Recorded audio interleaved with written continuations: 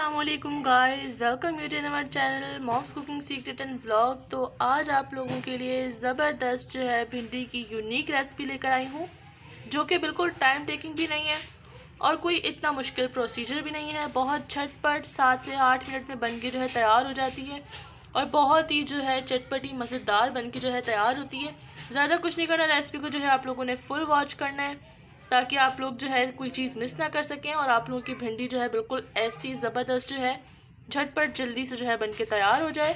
तो चले चलते हैं हमारी आज की ज़बरदस्ती रेसिपी की तरफ़।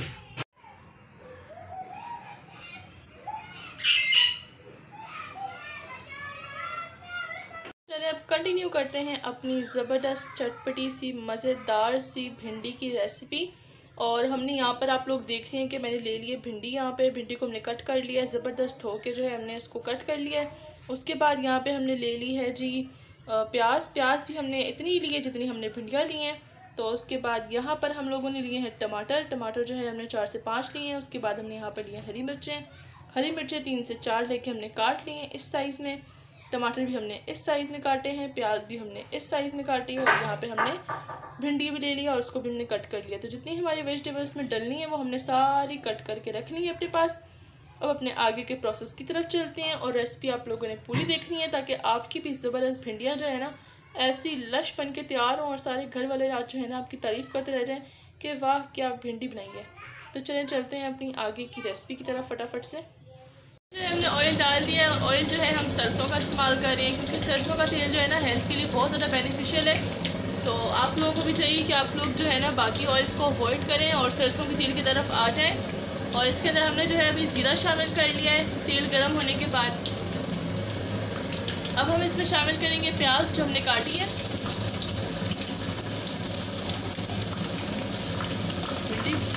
और साथ में ही जो है प्याज के हमने इसमें भिंडियाँ भी शामिल कर ली हैं। भिंडियाँ और प्याज हमने दोनों इसमें शामिल कर ली हैं। और ये जो भिंडियों की रेसिपी मैं आप लोगों से शेयर कर हूँ बहुत ही जो है ना क्विक रेसिपी है, बहुत ही आसान रेसिपी है झटपट बन के तैयार हो जाती है और बहुत ही ज़्यादा मज़े की बन के रेडी होती है। और ज़्यादा टाइम टेकिंग भी नहीं होती, फटाफट से बन के तैयार हो जाती है और अच्छी भी बन के तैयार होती है। तो आप लोग ना ये रेसिपी एक दफ़ा ट्राई करेंगे ना मैं कहती हूँ, आप लोग बार बार जो है ना यही रेसिपी ट्राई करेंगे और बार बार हमारे वीडियोस पाएँगे इसी तरह की जो है मजीद रेसिपीज़ देखने के लिए।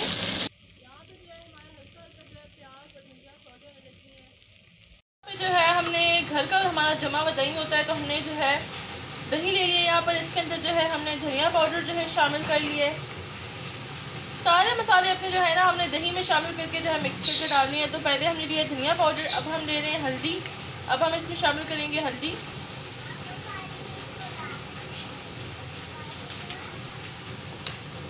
अब इसमें हम ऐड करेंगे क्रश चिली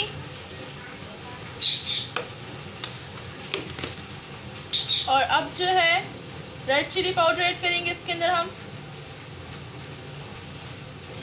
और अब सारे स्पाइसेस को जो है दही योगर्ट के अंदर जो है अच्छी तरह से हम मिक्स कर लेंगे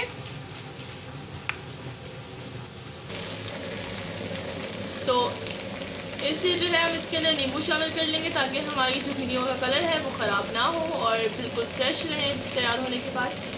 तो एक नींबू जो है हमने इसमें निचोड़ के शामिल कर लिया है।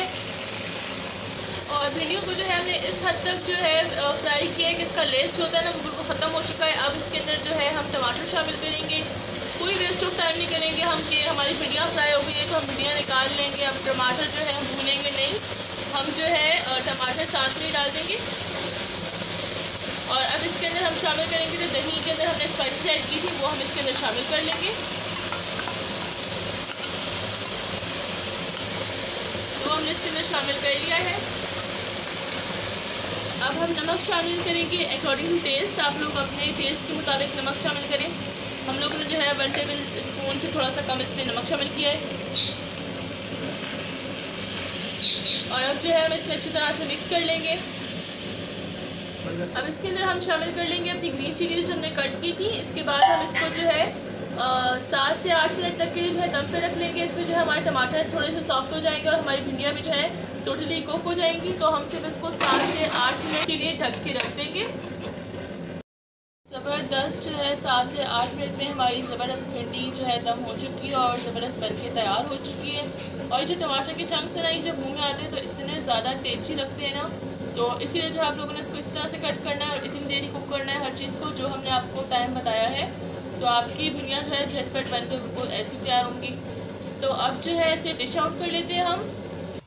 तो ये ज़बरदस्त जो है हमारी भिंडी बनके तैयार हो चुकी है यहाँ पर। तो अगर आप लोगों को आज की रेसिपी पसंद आई हो तो ज़्यादा कुछ नहीं करना। वीडियो को लाइक करना है चैनल को सब्सक्राइब करना है और बेल आइकन को प्रेस करना है हमारी मोटिवेशन के लिए। और आगे मज़ीद रेसिपीज़ को जो है आप लोगों को ताकि मिलती रहे टाइम टू टाइम ऐसी इजी रेसिपीज़ तो इसके लिए आप लोग जल्दी से चैनल को सब्सक्राइब कर लें और हमें दुआ में हमेशा हमेशा हमेशा याद रखिएगा। अल्लाह ताला आप लोगों को अपने ज़मान में रखे। अल्लाह हाफिज़।